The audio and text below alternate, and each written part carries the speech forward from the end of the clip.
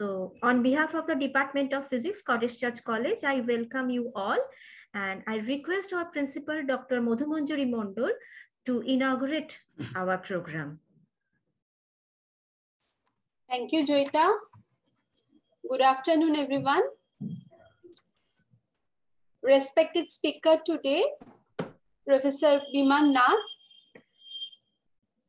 our Vice Principal, Dr. Supratim Dash, Dr. Shamrat Bhattacharjee, IQAC Coordinator, Dr. Rajashree Ghosh Barsar, Dr. Bidisha Sinha, Senator Secretary, Dr. Narayan Chandra Dash, Teachers Council Secretary, Dr. Joita Choudhury, HOD Physics Department, my respected colleagues and beloved students, I welcome you all today on behalf of Scottish Church College family. Though I'm not from the physics background, but as a layman, I have tremendous interest to know about universe. And like me, I'm sure all human beings want to know about the mysterious universe where we are existing as a tiny particles. Today, Professor Nath will discuss on the impact of dust particles in the universe. This will be a very interesting session to know about the dust in the universe. We always want to clear dust from our vicinity. But the importance of dust for the existence of universe will be discussed today. The optical properties and electrostatic forces of these dust particles in space and their roles in formation of stars will be discussed. The audience are waiting eagerly to listen to you, sir. In this occasion, I would like to congratulate the Department of Physics, especially our HOD, Joita, and Dr. Shamrat Bhattacharjee, IQAC coordinator, for organizing such webinars for all of us. You are helping the college to impart knowledge to our students and faculty, which is the main objective of our institution. I'm thankful to you for helping me and the institution as a whole. I wish you all the best and pray to God to bless all of us today. Thank you. Thank you, madam. I request our vice principal, sir, to say something. A very good afternoon. My heartiest welcome to Professor Biman Nath, today's uh, speaker, today's esteemed speaker. My dear colleagues and dear students. We know that Professor Nath today will mainly speak on the history of dust in the galaxy. Uh, as very rightly pointed out by our principal, that really all of us have a very profound uh, inquisitiveness uh, about the mysterious universe, this galaxy. Uh, I do not know physics or astrophysics. I know a little bit of history only. Hence, uh, I would, uh, before anything, I would like to uh, quote a few lines from Carl Sagan, the American planetary scientist and uh, astrophysicist. Uh, I'm just quoting. Before we invented civilization, our ancestors lived mainly in the open out, under the sky. Before we devised artificial lights and atmospheric pollution and modern forms of nocturnal entertainment, we watched the stars. There were practical calendar reasons, of course, but there was more to it than that.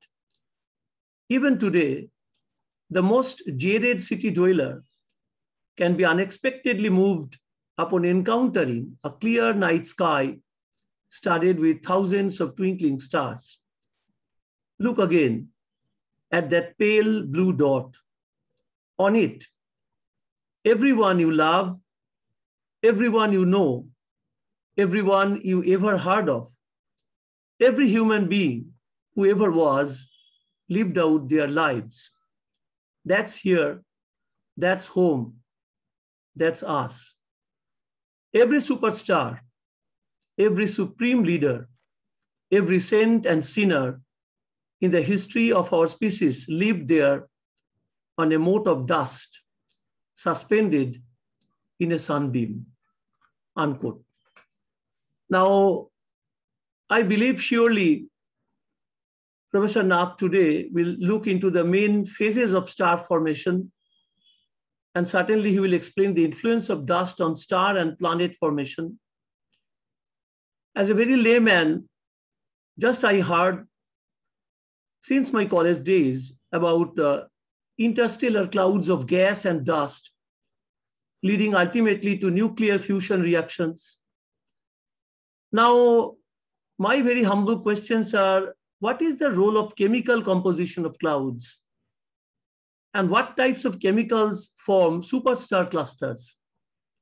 Star formation in environments across the vast reaches of cosmic time must be significantly different from those in our own galaxy.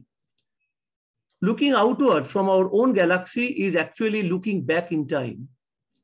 Star formation must have changed as the universe has been more and more aged. Now, is it correct to say that the universe was much richer in the gas needed to form stars billions of years ago than it is today? Uh, just uh, this kind of questions, I think, may come into anybody's and everybody's mind I also believe that today we are having, we are going to have a very, very interesting and very enlightening session. So with these few words, I welcome our speaker once again and I congratulate the physics department for organizing this kind of webinars at absolutely regular intervals. Thank you. Thank you so much, sir.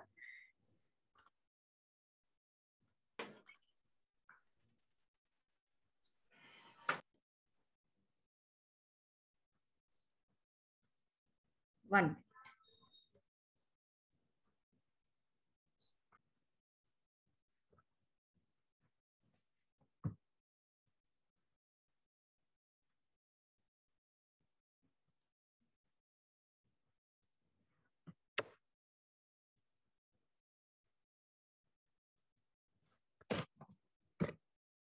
So before the lecture, let me introduce our today's speaker, Professor Biman Bihari Nath.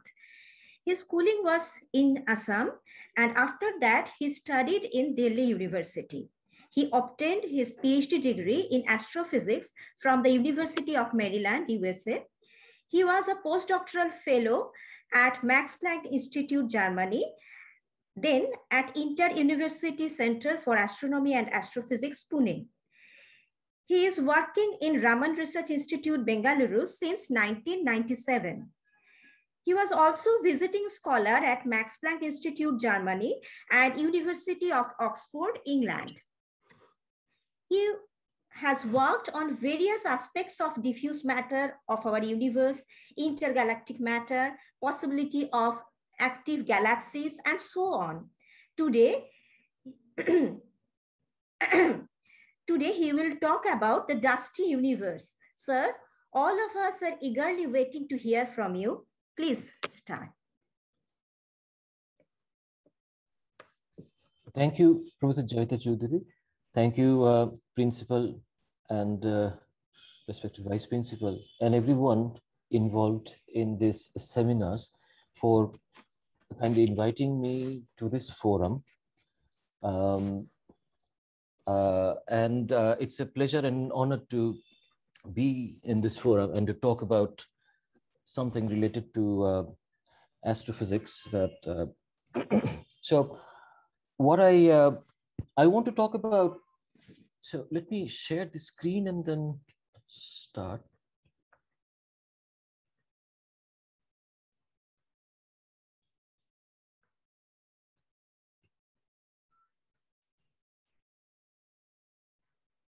Right. So I want to talk about a constituent of our galaxy and the whole universe, which you may think at first sight, from an astronomical point of view, to be a nuisance. Uh, and what I have in mind is dust, dust grains. If the dust grains absorb light, scatter light, and uh, get heated in the process, then re-radiate in some other wavelength. And all this process create complications of our interpretations of what we see, of our observations of stars and galaxies. Uh, so in that respect, uh, it is, uh, this is why one may think that it's a nuisance. But uh, it turns out that dust plays a very crucial role uh, in the evolution of galaxies. And so, uh, because it is very important for star formation. And I would like to tell you uh, in this, uh, uh, in the next uh, hour or so, how and why stars, it is difficult to form stars without dust grains. And that's why it is very important to study dust grains in order to understand how galaxies evolve and and why it has become a, a very important topic of research now. So um, let me go back to an earlier time as a flashback uh, before 20th century. Um, okay. Um, astronomers for a long time have seen, observed dark patches in the sky. And uh, uh like this, for example, in this picture. Um, and it's even uh, visible to us if you look at the Milky Way with a naked eye. I don't know how many of uh, you have seen the Milky Way. Uh, you may have to go to a remote place uh, and uh, with a clear sky, for example, to a mountain, um, and where you can see the Milky Way. And if you, particularly if you see it uh, on a summer night, for example, you'll see a clear uh, dark patches. So let me show a picture here. Yes, this is the Milky Way, and this is uh, the Milky Way as it is available, uh, visible in the uh, in optical wavelengths, and you can see that there are dark patches, right? And so this is the reason for this is APOD uh, is for the astronomy picture of the day. So we every day there are some uh, very interesting pictures, uh, uh astronomical pictures they show. It's a very uh, interesting website. Anyway, so the reason for the darkness was not very clear initially. It could be that this particular regions are devoid of star for some reason. Or it could be that there is something in the intervening medium that is blocking our view of the background stars, which is why that region is uh, appears to be dark. Now, in 1930, so um, as a uh, my question to you, uh, I have prepared my talk for physics students, and I have assumed that most of the students are uh, um, undergraduate students uh, of physics because there will be some physics terms, right? So um, I, I hope that is okay. Yes, sir, it is okay. So, so in 1930, Robert Trumpler did a very interesting experiment. Um, very innovative, very simple. He looked at about 100 what we call open star clusters. These are loosely bound clusters of massive young stars. And he divided them into bins of according to number of stars. Now, it's uh, reasonable to argue that if star clusters have comparable number of stars, then their intrinsic luminosity and the size would be also be comparable. Then he, so he took these uh, sample of uh, star clusters. And then he looked at their angular size in the sky and the apparent, the flux, the apparent brightness. Now, in other words, he was basically looking at two types of distances here. One he called the diameter distance, which uh, I've written it in, uh, here. It's basically uh, as d subscript a, basically angular size, uh, the actual size divided by theta, and also the photometric distance or the uh, luminosity distance, dl, and dl square would be the actual luminosity, the intrinsic luminosity, which depends on the number of stars, by the way, divided by 4 pi flux, the apparent flux. Now, ideally, if uh, if you plot these two distances, there should be a straight line relation between them. Uh, star cluster would appear to be dimmer if it is uh, farther away, and it also looks smaller. So these two distances should be related. What he noticed was something different. Look at this. There is a deviation from a straight line here, uh, especially for objects which are at a larger distance. And they appear to be dimmer than what you expect. And so, in other words, the photometric distance, the luminosity dl, seems to be larger than, um, than the diameter distance. In other words, and this can be explained only if there is something in the intervening medium which is blocking our view, which is doing something which is uh, absorbing the light and blocking the starlight and not doing something to the and do not doing anything to the size and it's a very simple experiment and which is why uh, the the minimum assumptions involved. So, so the conclusions are very firm. So the question is what can it be? Right? So the flux is dimmed what is expected from the inverse square law. Now the question is what can it be? There are other several observations that tell us that whatever is blocking the view is also scattering light, not just absorbing light. So this is uh, one uh, open cluster. It's a Pleiades. It's a very uh, familiar star cluster in, in, in, Indian languages or in Bengali, we call it Kritika. Now, as you can see, if you look away from the stars, um, there is uh, uh, some amount of light, uh, scattered light visible, which is faintly blue. So and this scattered light is not any line emission, it's continuum. So the spectrum is not uh, due to lines, but uh, so which means that the scattering is not due to any atoms or molecules, but something else. Uh, something else, since, since uh, the scattered light is faintly blue, so, so you can uh, imagine that the scatterer is larger than atoms and molecules, but small enough. How small? That's the question. So these, uh, it implies that basically the blue light is being preferentially scattered by some, some tiny objects. Now, one immediate implication is that the star light is going to be rendered redder because the blue light is being scattered away. So the star light is going to be reddened. Exactly just like what we see during sunset and sunrise the sun appears to be red because the blue light is uh, scattered away, right? Um, uh, but here, in this case, the, the scattering is slightly different from what we see in our atmosphere. The scattering in our atmosphere, we know that the scattering goes, uh, scales as uh, 1 over lambda to the power 4, which is Rayleigh scattering due to uh, molecules of air molecules. Here, it turns out the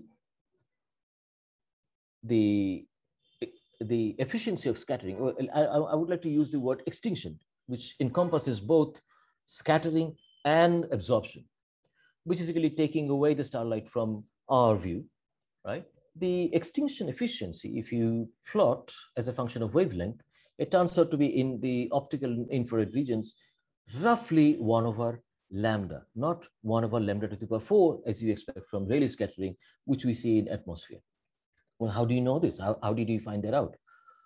Well, we know the intrinsic spectrum of certain stars, for example, the main sequence stars, which we know well, we know their intrinsic uh, spectrum. And so when you compare the observed spectrum with the intrinsic spectrum, we can find out what uh, is the absorption or the extinction efficiency as a function of the wavelength. And this is how we find this extinction efficiency. So it's different from the uh, atmospheric uh, Rayleigh scattering, which goes as 1 over lambda to the power 4, which we know to be uh, due to air molecules. Now, this turns out, this actually is a very important clue and tells us that the size of the particles which are responsible for scattering and absorption uh, have sizes comparable or slightly smaller than the, the, the wavelength of, say, blue light, a few hundred nanometers. How? So the actual calculation of what um, the, the interaction of uh, dielectric spheres, small dielectric spheres, with a dielectric constant which is complex. So the imaginary part should take care of the absorption. How these, uh, how tiny dielectric spheres interact with light waves was done by, uh, okay, this is another way of looking at how absorption uh, extinction efficiency uh, falls off at different wavelengths. Uh, if you observe the same region in different wavelengths, for example. Anyway, the extinction is less at longer wavelengths. Now, it was done, uh, the actual calculations was done uh, for the, uh, by Gustav Mie in the 19th century. Um, and well, it's not that, you know, we, we don't have any Mie scattering in our uh, atmosphere. There is Mie scattering uh, because there is dust particles also in our atmosphere. And it is uh, particularly becomes important when you look closer to the sun and the, that Mie scattering is the, the, the reason why we see a white glare around the sun. And for that, uh, the, the particle size uh, uh, is somewhat comparable, smaller than the lambda, the wavelength of light, larger than 0.1 lambda. Uh, and so the calculations basically involve a plane wave uh, incident on spherical uh, dielectric spheres um, and the, the usual boundary conditions, you have plane wave infinity, continuity across the surface of the sphere, etc., etc. It's pretty involved calculations. We, I don't definitely don't want to get into that. Um, and the scattering, but the result is that the scattering depends on uh, basically the dielectric constant m, which uh, is taken to be complex, and and um, and the size of the uh, dielectric sphere at the wavelength or, the, or in other words, the ratio between A, which is the radius of the sphere, and wavelength. Uh, and this is what we see. Um, so Q is basically, if you take the, the total cross section, cross section for scattering, cross section for absorption, uh, Q is the ratio of the cross section to the geometrical cross section, which is pi a square. And as you can see here, uh, this is as a function of x. x uh, is uh, basically the ratio of A over lambda. And this is Q. Q uh, for scattering, Q for absorption. And as you can see, if it is uh, M, the dielectric constant is only real, well, then this is what you get for real M. Um, for very small x or the very, uh, uh, for very small sizes, then you get Rayleigh scattering. You get lambda to the power minus 4 here. But if um, for complex M, uh, the absorption coefficient, then absorption, the as you can see for uh, complex M, absorption becomes important. And if the imaginary part is larger, absorption becomes more and more important. And uh, in uh, for certain ranges of the particle size, you can actually get uh, a Q absorption to be of the order of uh, scaling is one over lambda, which is what we observe in astronomy. So uh, the upshot is that one can explain the extinction curve by the, the, the observed extinction curve with the help of Mie scattering theory with particles which are dielectric spheres basically of uh, with the complex dielectric constants of uh, a certain uh, size sizes which are slightly less than say the uh, uh,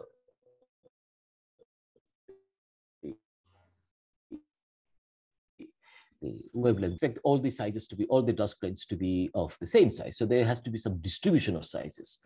And typically, um, so X, you can do calculations and typically what we take uh, is a dust distribution. So this is N of A uh, means it's a differential uh, distribution, uh, number of uh, particles which size between A and A plus dA as a function of A in micron. And it's log log plot. So one has usually, one takes a power law distribution and it has been found that if you take a distribution with a power law of about minus 3.5 uh, and with sizes between uh, particles between say five nanometers to about 250 nanometers, and, and that people have worked on variations of that. And then one can explain the astronomical observations. Uh, you might now I must caution you that you know these are theoretical models. Actual dust particles need not be spheres. Uh, but in physics, you know that we start with simplest models and then we build on the complexity and, and in detail. Uh, in fact, the, the actual dust particles which have been um, uh, uh, uh which has been seen by interplanetary in the inter, in our interplanetary space within the solar system are far far from being spherical. Okay, then definitely not spherical. But as a starting point, uh, one starts with a, a, spherical sphere and then you build on. And why power of dust distribution, the size distribution? Well, that's also not very uh, unreasonable to expect in nature. Let me give you an example. If you take a glass pane of a window pane and drop it, it you break into fragments of different sizes, there will be distribution of sizes. There will be large fragments, there will be very small fragments. And you'll turn out, it will turn out that you will have more smaller fragments than large fragments. Uh, you know from your experience, when you break a glass, there are more smaller pieces than large pieces. And uh, for example, if you take the glass uh, pane and uh, look at the uh, size distribution, as I just said, uh, in terms of size in log log, you'll get a power law of a different power law index. Here, for example, it's a different experiment. But I wanted to basically say that law distribution of sizes is, is to be expected in nature. It's not nothing unnatural.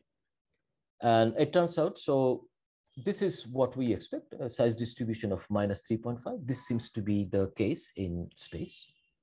And the sizes are like this. Now, the next question is, what are they made of? What, what, is, the uh, what is the composition of these grains? Okay. Now, let's look at this extinction coefficient. Uh, uh, uh coefficient extinction efficiency is a function of uh, lambda.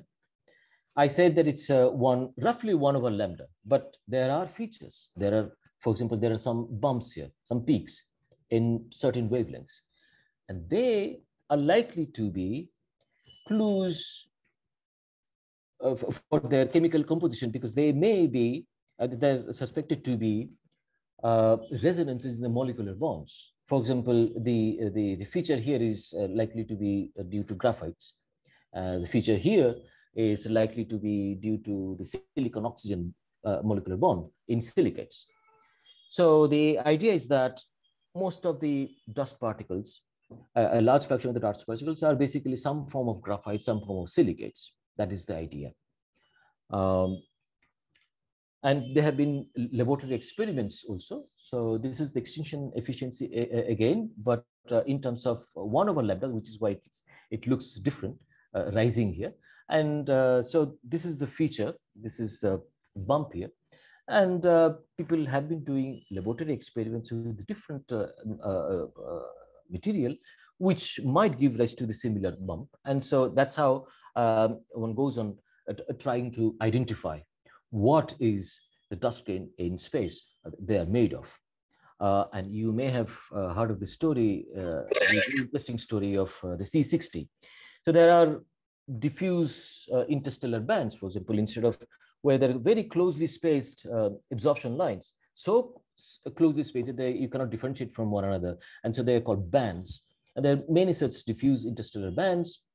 And one of them was identified in 1985 to be due to some form of uh, carbon atoms. And it was later realized from laboratory experiments that uh, there are likely to be 60 uh, atoms of carbon uh, forming uh, some sort of a sort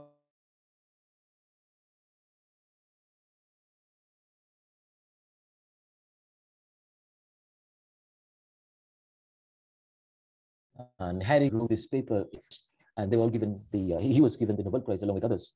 Um, I forget when it was given, but anyway, it's an interesting example of something, some material whose existence was first inferred uh, in the interstellar medium as a, you know, uh, and then then uh, realized, materialized in the laboratory. And recent uh, observations of uh, Hubble Space Telescope also confirm that uh, ionized C60 is in, uh, really uh, responsible for these uh, diffuse interstellar bands. Now, C60 is, of course, it's, it's, a, it's a form of molecule, not really dust particle, but it's an example that I thought I would share. Going back to dust grains in the interstellar medium, they scatter light, they absorb light, and in the process, they must get heated because of the energy of the, they absorb radiate at a different wavelength. And uh, it turns out to be that they, they radiate in the infrared wavelength. So for example, this happens uh, uh,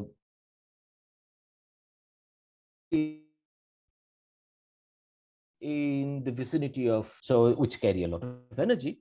And so when the dust grains in the vicinity of the massive stars, so here's an example of a star forming region where uh, massive young stars are being uh, are there, and they, they emit a lot of ultraviolet uh, light, and the gas uh, contains dust, gets heated up, and then they re-radiated the infrared wavelength, which is uh, uh, observed here. But it is a SOFIA instrument, infrared detector and the green, I think, corresponds to about 20 micron, and the red corresponds to 30 microns. So, um, so uh, that corresponds to about 100 degree Kelvin temperature. If you look at black body, uh, uh, the Wien's law, um, the temperature and the peak wavelength, which you know from the black body uh, radiation uh, Planckian spectrum. Uh, actually, one can estimate the temperature of the particles. Very and I, I think you have uh, most of you have done this exercise of uh, estimating the temperature of a planet surface right? Uh, heated by sunlight. Um, so you take uh, the steady state uh, basically which means that it's a energy conservation. Energy absorbed uh, the amount of energy absorbed is energy being lost right? So you say that the the planet has a, a radius capital r so the total energy lost will be at a temperature. If it is raised to some temperature T, so sigma T to the power 4, 4 pi r square, this is the total amount of energy that has been lost. It must be equal to total energy, amount of energy that is being absorbed, which is what? Uh, L solar. So in the case of sunlight, for example, L solar divided by 4 pi r square, there's the flux at the planet's distance. And then you multiply by the geometrical cross section, which is pi r square. Um, uh, you also take into account some albedo because not all of it is being absorbed, some will be reflected. So you take care of the albedo. But a similar uh, calculation can be done for massive grains, uh, uh, uh so the dust grains uh, near massive stars. So in that case, you would take not solar luminosity, but the luminosity of the star and the distance of the dust grains from the star. And instead of albedo, you use the Mie scattering uh, the, uh, the results of uh, Q absorption. How much is the absorption efficiency? Right? And you, this exactly the same calculation, by the way, and you can estimate the temperature. And it turns out to be of the order of 100 degrees Kelvin. And so you expect from black body radiation, you expect the re-radiated emission to get around 30 micron, which is what I had just shown you the picture. So things, things make sense, right? Um, so this is the, I mean, this is not really hot uh, in our day-to-day uh, compared to our daily life experience. It's like minus 170 degrees, but it's hotter than uh, the temperature of the molecular cloud in which uh, things are embedded, which is of the order of 10 Kelvin or so. So it is, it is heated up. Um, right. So this is interesting, right? So the dust grains block the starlight, but they reveal themselves in a different wavelength. In other words, let's look at let's uh, look at again the picture of the Milky Way at a different wavelength. I showed you this picture of the Milky Way in visible light, which is full of dark patches. So something was missing from our view of the Milky Way because of these dust grains, which is why we think it's a nuisance, right?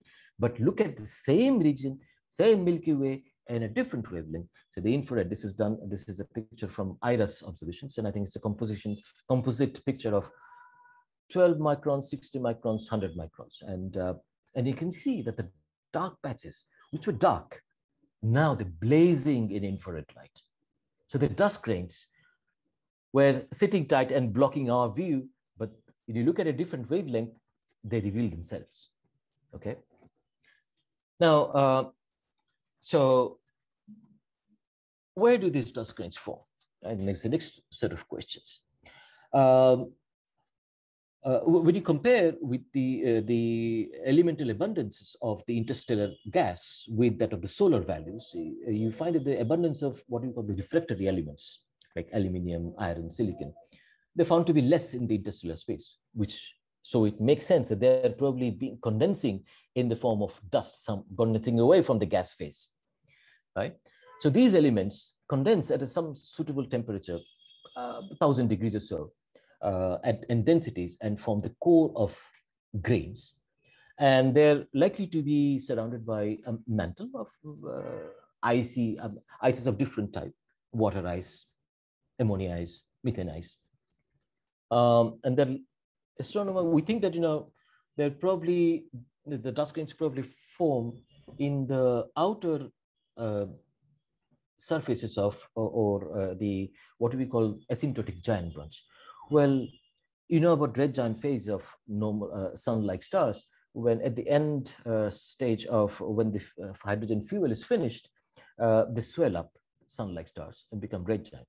And so the stars of other masses also do the similar thing. And then I don't want to get into the detail, but there's something called uh, similar to giant branch. They also go to asymptotic giant branch. Basically, if it is a large stars, they become so large, they, they cannot hold on to their outer surface through gravity. So the outer surface uh, expands.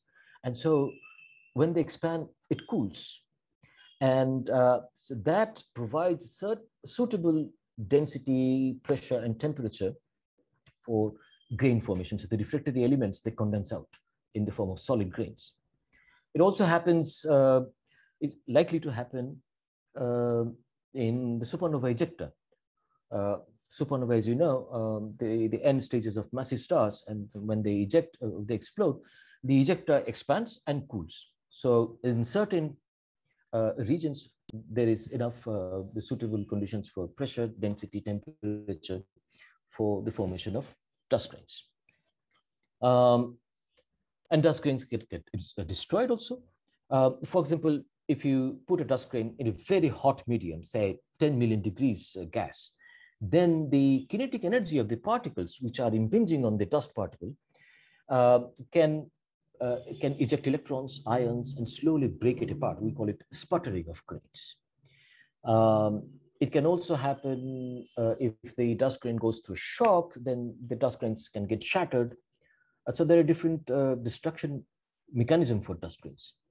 Um, so in general, the dust grains survive well in cool regions of space. Uh, icy mantles survive for about millions of years. But at the cores, which are more robust, they can survive for about 100 million years or so before they're destroyed in shocks and other regions. Now, one of the most interesting things that the dust grains do is to form molecules. Now, um, I don't have a, uh, what time is that? Um, Okay. How much time do I have? Um, half an hour more or? One minute. Yes, sir, you can. Do. Okay. so one of the most interesting things that the dust grains do is to form molecules. Um, and I would like to impress upon you the fact that it is difficult to form molecules in, in, in, in interstellar space. Consider the density of the interstellar space. The average density in our galaxy, the space between the stars, the interstellar space, it has a density of about, on average, about an atom per cc. Pardon me for using CGS units. I know uh, all the students uh, uh, used to uh, work on uh, working in MKS, but astronomers use as CGS. But you can convert in your mind. So one atom per cc is the average density of particles in the uh, interstellar medium. If you go to dense clouds, well, you can get up to about 10,000 or maybe 100,000 per particles, particles per cc, but not more than that. This is much smaller than uh, what we encounter in our atmosphere, for example. In an atmosphere, if you use uh, the Avogadro's number, um, standard pressure and temperature, you'll find that the, the, number of molecules per cc is of the order of 10 to the power 19. So uh, it's, it's, it's very, very dilute, the interstellar space, and it's difficult to form molecules. Why? Because you have to bring two atoms together for a certain amount of time and, and enough time so that you know you get to release the binding energy. If you don't release the binding energy, you're not going to form the molecules, right? Uh, let's let's look at that. Uh, let's try to estimate. Now I bind, I, I bring two atoms together. What is the typical contact time? Well, one can argue that, okay, this is going to be the inverse of the typical vibrational frequency of the molecule that you're going to form of that order. Let's say that's of the order of 10 to the power minus 13 seconds. I need to get rid of the binding energy quickly, right? This is the contact time. How do I release the binding energy? There has to be through photons. So there has to be some transition. Let's look at the transitional probability. The largest transitional probability you can think of is what? Is for Lyman alpha transition in hydrogen atom. That's 10 to the power 8 per second. So the inverse time is 10 to the power minus 8 seconds. That's the transition time scale, right? Look at this. This is not this is not enough. The contact time is not enough to release the binding energy in order to form molecules. If you look at this ratio, it's a ratio of about what? 100,000? So that gives you a probability of formation of molecules like one in 100,000 such collisions, which are also rare because it's a, such a rarefied situation. The density is so low. So it's next to impossible to form molecules in space. Uh, and this is what where dust grains come in because dust grains provide large surface area in which atoms can get absorbed, stuck to this, and they can combine.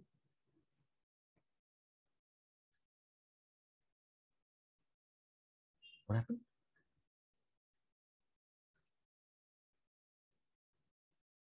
I'm sorry for this. Can you see this uh, screen again? Yes, your screen is visible. Yeah, yeah. I, am sorry for the interruption. No, so this is what the uh, dust grains uh, do. They provide large surface area in which the uh, atoms can get absorbed, and then they can meet combined with other atoms and form molecules. In other words, basically dust grain surfaces, they provide a, a dating service kind of thing so that the atoms can combine and form molecules. Let's look at this process in somewhat more detail. I think there's some interesting physics there, and uh, with even just BSc physics knowledge, uh, it can become, one can try to understand this. Uh, I, I, and uh, let me show another picture of the same Milky Way that I have been showing in optical and, uh, and infrared. If you look at the distribution of molecules in the Milky Way, uh, this is the distribution of, uh, this is uh, how we know the distribution of molecules. This is basically CO, I think, carbon monoxide molecules. As you can see, the dark patches which were blocking our view and which were radiating in infrared, those are the places where you see molecules. That gives you a clue that the, the dust particles are somehow related to the formation of molecules. So let's look at this process of an atom coming to a dust uh, grain uh, surface and getting adsorbed. What is the process? Well, um, there has to be some attractive force. I mean, if the uh, if they're both charged, then there's enough attractive force. But it turns out that even if they're neutral but polarized, and the van der Waals force is enough to uh, for this process. So what happens? The incident atom that comes uh, and but it uh, it has to uh, approach uh, it, it, approaches uh, the surface and you can imagine the surface atoms being stuck to the grain by some sort of a spring right now the the atom approaches and it uh, breaks the charge cloud so uh, then there is an opposing force so it bounces back. But it does so before uh, after imparting the momentum to the surface atoms. And the surface atoms they vibrate because they're connected like spring. They vibrate and the vibrational uh, energy is given away by a photon all right? So the incident atom is, is bouncing back but then not not enough because the kinetic energy of the incident atom is very small 10 to the power minus 3 electron volt if the temperature is of the order of 10k in the gas. And the van der Waals binding uh, energy is by the way it's larger. It's about 0.1 electron volt. So ultimately the uh, the atom does some sort of a oscillation and then slowly gets absorbed. And the, the energy, kinetic energy of the incident atom is absorbed by the dust grain and it vibrates and the vibrational energy is given off by, by the photon. Right? So you got one atom here, which is sort of stuck to the dust grain, right? Surface. Well, that's not enough, right? Uh, so here is one uh, dust grain surface, and then you've got one atom. But uh, well, it has to meet other atoms, which are absorbed in some other site. So it has to go. It, it has to hop around, jump around. It's not getting, you know, just two atoms sitting on two uh, uh sites of this uh, dust grain are going to meet uh, miraculously. So the dust grain, the atom which is stuck to the dust grain, jumps around by random walk. How? It gets kicks from the surface atoms, which are always vibrating. So the vibration gives kicks to the incident, uh, the, the atom, and it jumps around and it does a random walk. Now, the, the typical vibrational energy of surface uh, atoms, it turns out to be of the order of 10 to the power minus 3 electron volt. Again, I've taken the dust grain uh, energy to be 10 Kelvin, the deep inside molecular clouds. And it turns out that you need about 0.01 electron volt to hop to another atom site. Now, this is larger, 10 times larger than the average vibrational energy that is given to the incident, uh, the atom, right? Well, it's an average energy, but this is a distribution. Suppose it's a distribution like Boltzmann distribution type. It's because it's thermal. Uh, they're vibrating because of the, its, uh, its, its temperature, right?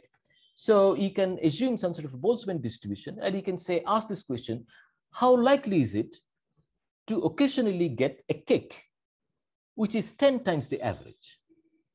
So you know Boltzmann distribution, you can say that you know this is going to be of the order of 1 over e uh, exponential minus e over kt, basically 1 over e to the power minus 10, 10 times the average.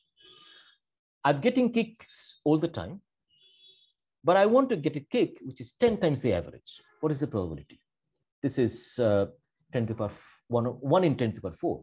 In other words, I need 10,000 kicks before I get one kick, which is going to take me to another atom. Okay. Now, I told you that the dust vibrates with frequency of the order of 10 to the minus 12 minus 13 seconds. So if I multiply by this probability, then, then the time to meet another atom turns out to be of the order of 10 to the minus 8 seconds. Remember the binding energy time scale that I told you. We're getting closer here.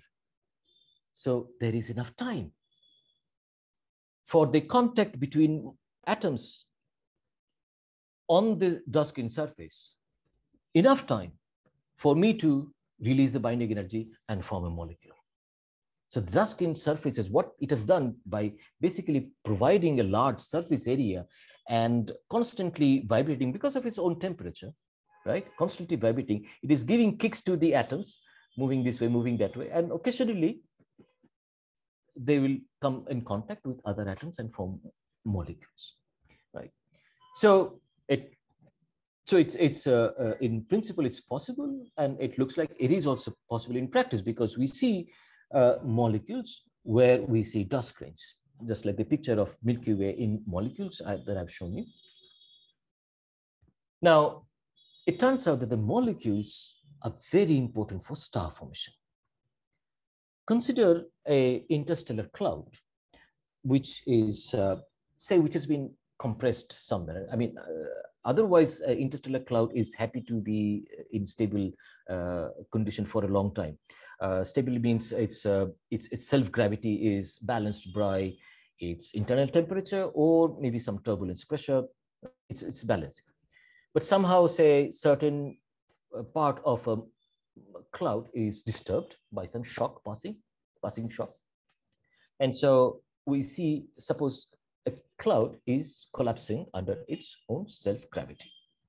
This is how a star is going to form out of this cloud. But there are problems, right? As you know, I mean, if I want to compress, I, I this gas will get heated up. And once you heat up, its internal pressure is going to resist the in, uh, gravity and it's going to halt the compression. So no luck for star formation if you don't do something to the internal energy. You have to release the internal energy. Continually keep it cool so that you have to ensure that the gas keeps it doesn't get heated up or it gets cool, right? And how do you do that? By releasing photons. So, uh, and so that uh, by radiating photons. But it turns out that for that, you need molecules if you want to cool below 10,000 degrees. Why?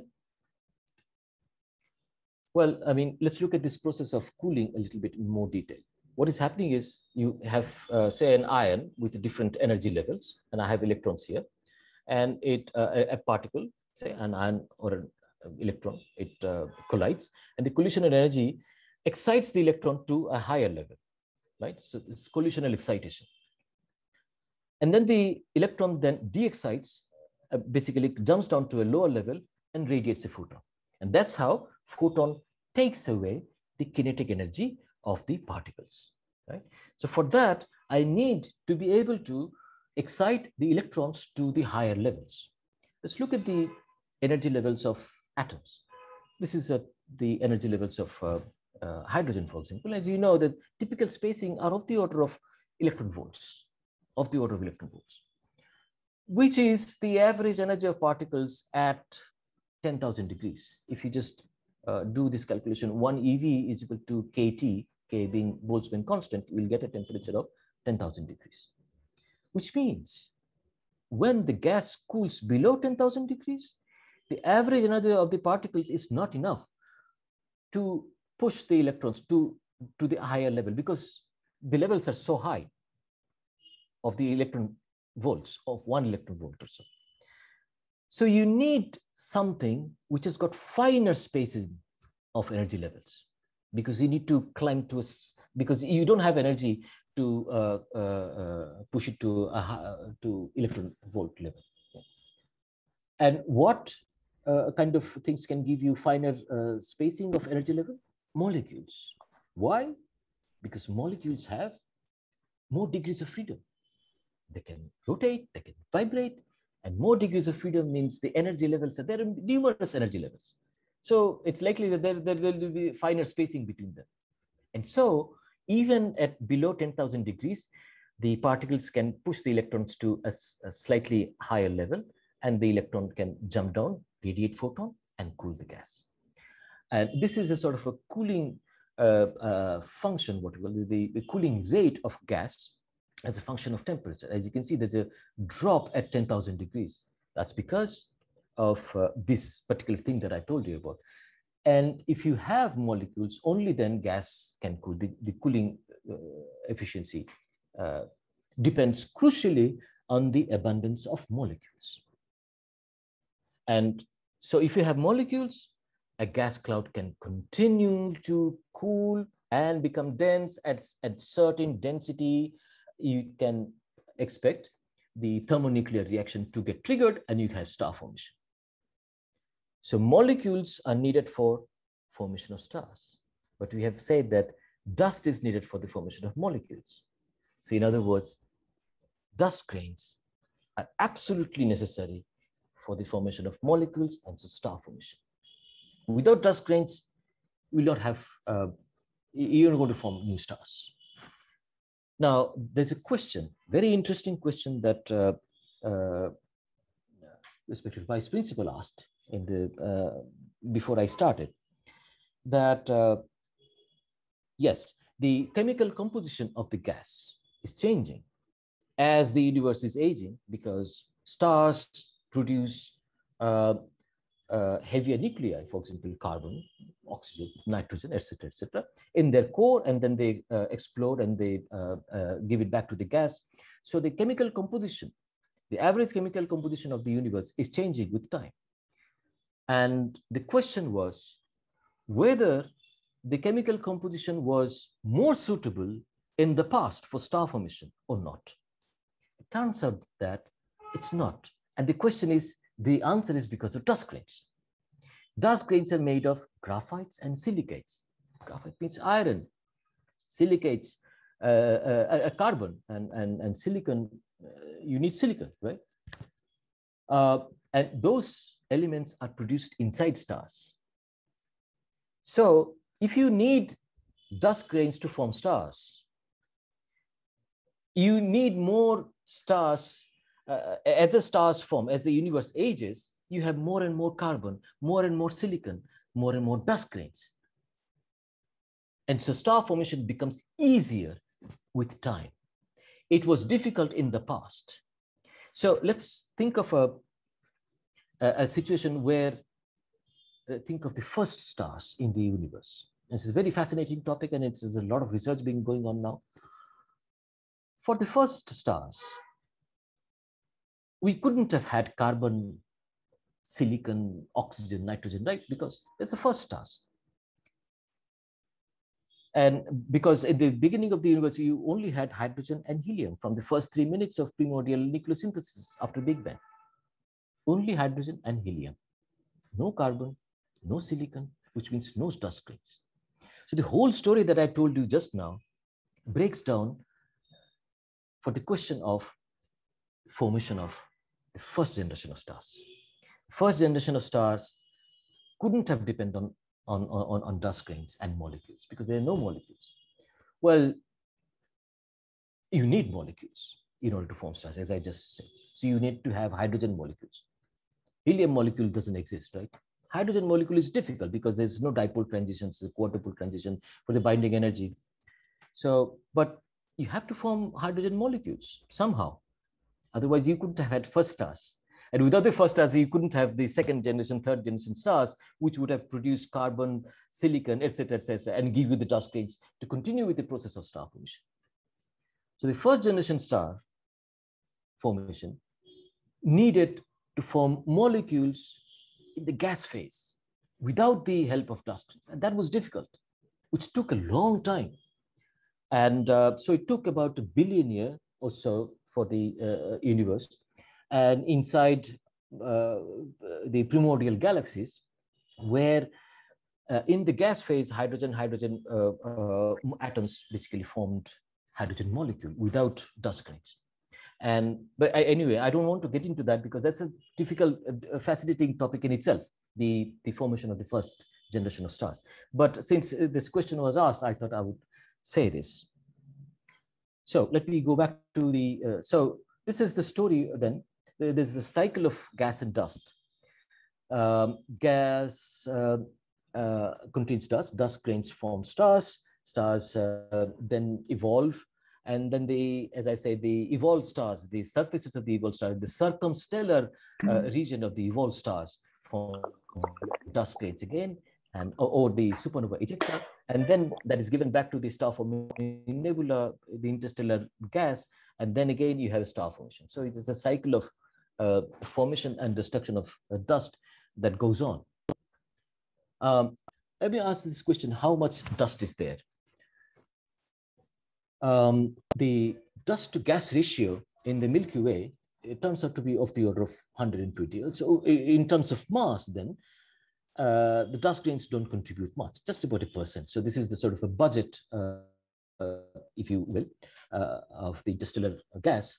Uh, most of it is hydrogen, helium, and a little bit, 1% in terms of mass is, is contributed by dust. How do you know this? And actually, I like to ask my students to always ask me, when I, whenever I give an information, you should, you should ask, how do you know this? It's not just enough to get some information out of Google or something.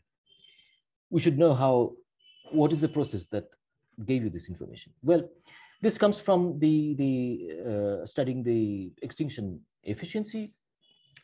Uh, and one way of uh, um, uh, the observations of how much of column density is uh, uh, related to what uh, the extinction.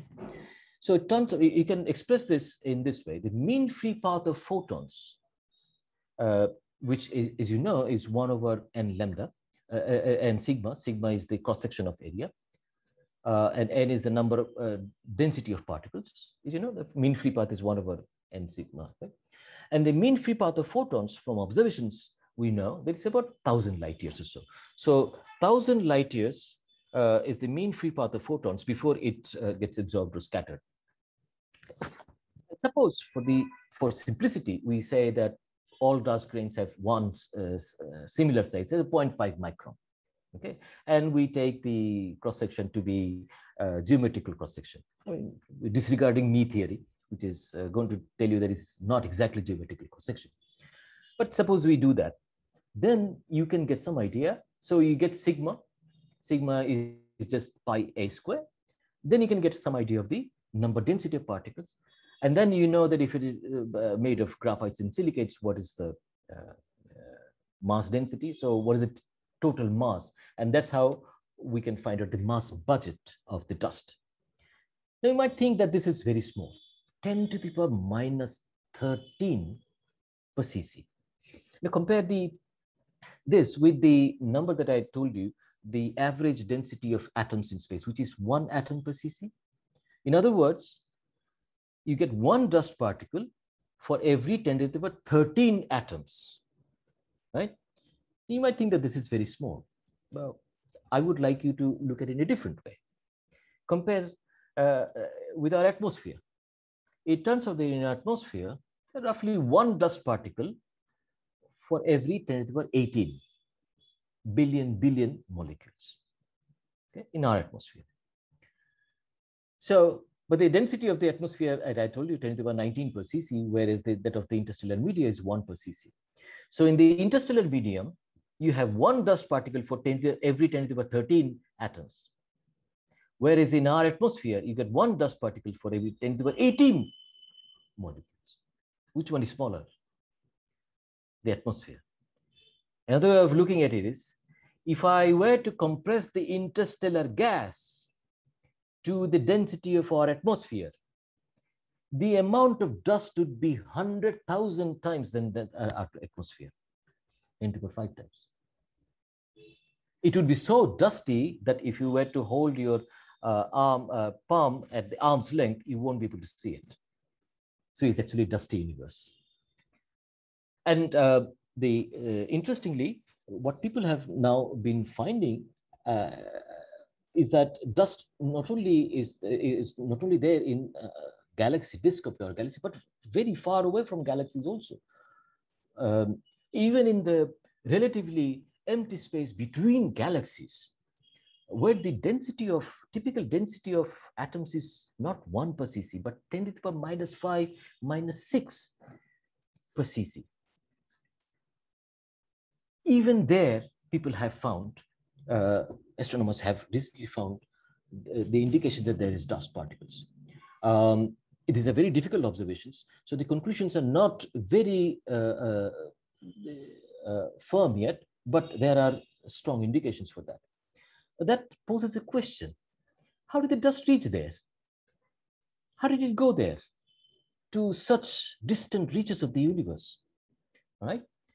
It must have been ejected from galaxies because dust couldn't have formed there. It's, it's, it's a very uh, rarefied place, very cold place, and no condition for the formation of dust exists there. So must have been ejected from galaxies. And this is a question that uh, uh, I'm interested in, and I've been uh, thinking about that. So for example, uh, it could have been blown away from galaxies. Uh, when you have galaxies with vigorous star formation, star formation also produces uh, supernovae because that's the end stages of massive stars. And this is an example of uh, a M82 star in, uh, in visible and in infrared and in different other wavelengths people have seen. And you see the gas being ejected out of the galaxy, what we call the galactic outflow. These are large amount of gases being ejected by the energy of uh, the supernova. It turns out the dust grains are charged. Why? Well, because of uh, the, the ultraviolet uh, radiation from massive stars and, the photoelectric effect. So the ultraviolet uh, light, they the photo eject electrons and then make the dust grains charged up to a certain extent. I mean, if it is uh, it, the positive charge builds to a certain extent, beyond which the the photo ejected photo electron uh, will be brought back. The work function becomes larger. Anyway, so dust grains are positively charged usually and you have plasma. The gas is also hot. So the dust grains are actually coupled to the gas by simple Coulomb interactions, just like you know electrons and ions are coupled in the plasma. And so the dust grains can be ejected along with the gas. It can also happen, the dust grains, because they provide some sort of a bigger surface, the cross-sectional area that they offer to light is much more than Thomson cross-section, for example, for electrons, because dust grains are large. And so radiation pressure becomes important. And radiation pressure can push dust grains away. And as the dust grains move, they also pull along the gas. So these are all uh, uh, uh, uh connected processes. And uh, I have been interested in this process. And this is a, a, a, result of simulation that I have done with my collaborator. This is done with Indranil Chattopadhyay, who is in ARIES, Nainital, and my uh, former student, Mahavir Sharma and Dongsu Ryu in Korea. So we, what we try to do is to look at how the radiation pressure from galaxy, the, the light that is coming out of uh, stars in the galaxy, how that can impart momentum to the dust particles and that can lift out of the, so uh, as if, uh, uh, this is basically time snapshots. This is uh, uh, so slowly gas and dust is lifted out of the disk and can be ejected away.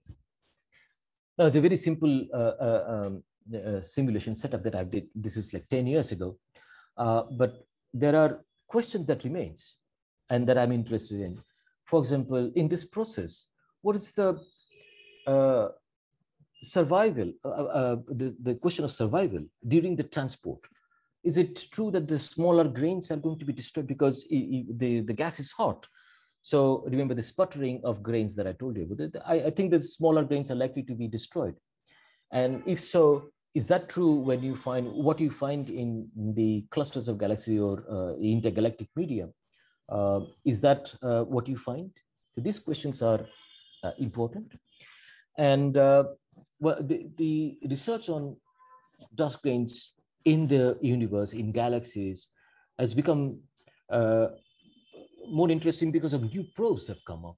And you know about ALMA, this is, uh, this is in Chile, the Atacama uh, desert in Chile. Um, and as you know about JWST, which is going to be launched soon within this month, which is going to have uh, infrared detectors um, and earlier, previous to that, uh, there were uh, Spitzer telescope, Herschel telescope, space, space telescope. So infrared observations have become uh, very important in astronomical uh, research. Me just have a one slide. Uh, I thought this is also going to be interesting. I, I talked about the formation of molecules. And it turns out that there are many complex organic molecules, like the prebiotic molecules, which have been discovered in, in the interstellar space. And uh, it's, it's likely that they have formed on the dust grains. this is many, many, there's some examples of the complex organic molecules. Um, it's a whole subject out there. Uh, and I'm not an expert in that, the formation of, uh, but it's very interesting that it's possible that, you know, uh, after the star formation, these molecules may be delivered to the planets by comets, asteroids, because these complex molecules have been found in the comets in our backyard. Uh, for example, glycine, it's uh, the, one of the amino acids, is, is uh, the simplest amino acid, but it's an amino acid. It's a complex organic molecule, has been found in, in, in, uh, in, a comet. So it's, uh, it's not impossible that the dust grains um, hold a clue to the emergence of life elsewhere, maybe you're not even. So that's where I would like to stop. And uh, so what I've tried to do is to, to convey that although the dust grains in the interstellar space may not amount to much in terms of mass, they're very crucial for the processes that uh, uh, make galaxies evolve, like formation of stars. Uh, and the study of dust grains um, is very important in order to understand the evolution of galaxies, that of the universe, uh, and maybe even the emergence of light, life. And I've also tried to uh, uh, talk about how, what is the process of how dust can lift, uh, get lifted out of the galaxy and get uh, and reach the distant corners of the universe and make it a very dusty universe. Thank you for your attention. Thank you. Thank you, sir. Uh, Joydeep, please uh, conduct the question answer yeah. session. Okay, so uh, I think there are two questions that I think uh, already sir have answered. Uh, those questions are in the chat box. Okay. Uh, uh, from Anupam, uh, is the scattering very less in Mie scattering? Uh, sir, uh, you can also see the chat box. Uh. I, I don't understand what do you mean by less or uh, less less than what? So, Anupam, uh, can you be specific? Uh, Anupam, please unmute yourself and talk. It's a well, at... Rayleigh scattering. No, no, no. See, if you look at the absorption, uh, the coefficient uh, efficiency, the Q, um, let me get back to that.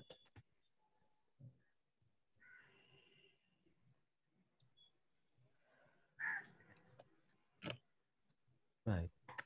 You Can you see my screen? So here, this is in terms of the geometrical cross section pi a square. Uh, right? Sir, uh, uh, I guess, not uh, visible. Screen oh, is oh, not oh, visible. I see. Right. Yeah. yeah.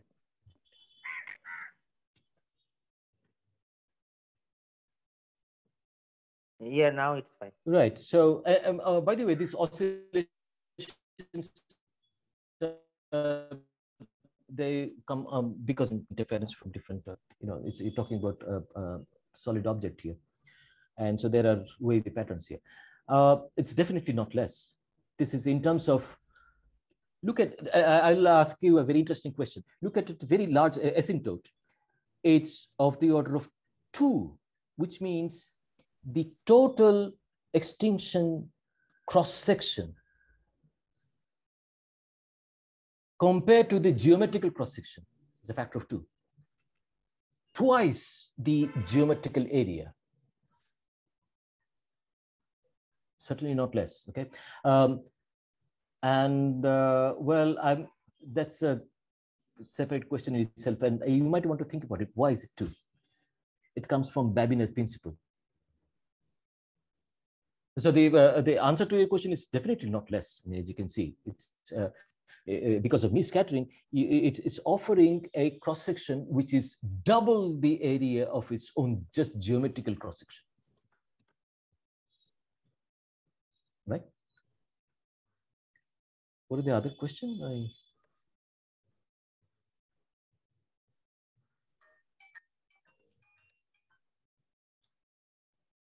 how did the dust grains form at the first place if they themselves act uh, like a kind of catalyst to form other molecules yes yeah it's a so so as I told you, in the very beginning, there were not much of carbon and silicon uh, uh, atoms. So, so it needed so the, the first uh, stars were formed without the help of uh, dust grains. So, but once the first phase of star formation uh, uh, were over, there were enough carbon and silicon in the universe to be able to form dust grains.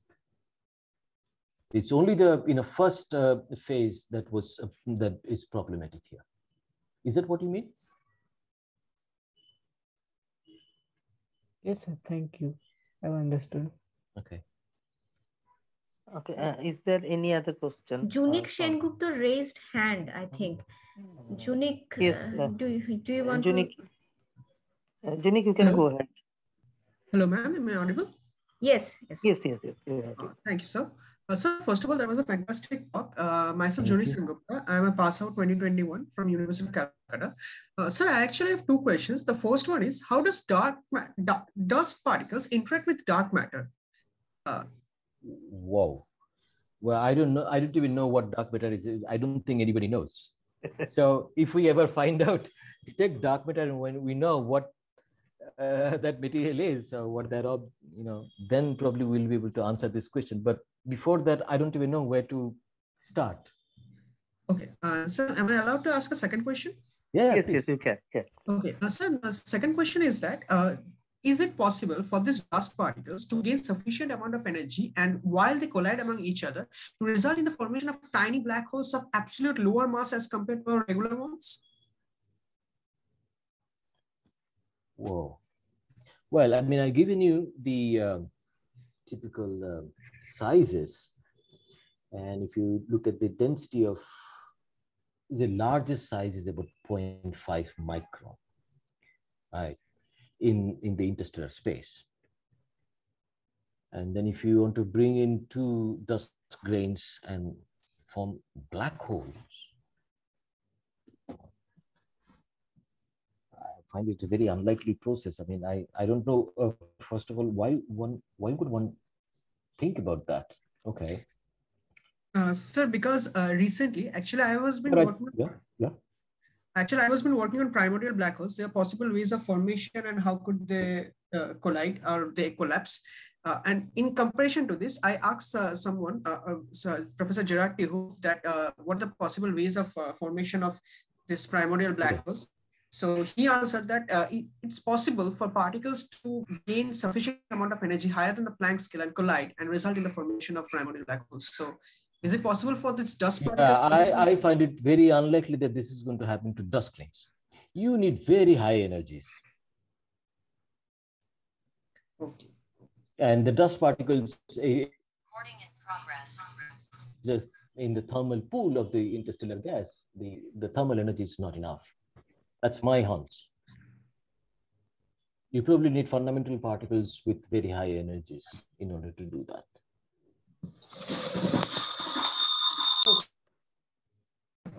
Okay. Thank you, sir. Thank you, sir.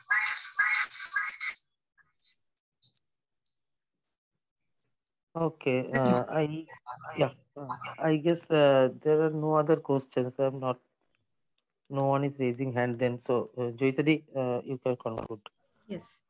So thank you, sir. Thank you so much for giving us your valuable time. So um, we'd like to hear from you you- in future also. Thank you very much for inviting me again. Yes, I. I- You you would have been great. I would really like to. Okay. Thank you very much again Thank you, for your sir. invitation. Thank you. Thank you, sir. Thank you. Thank you so much.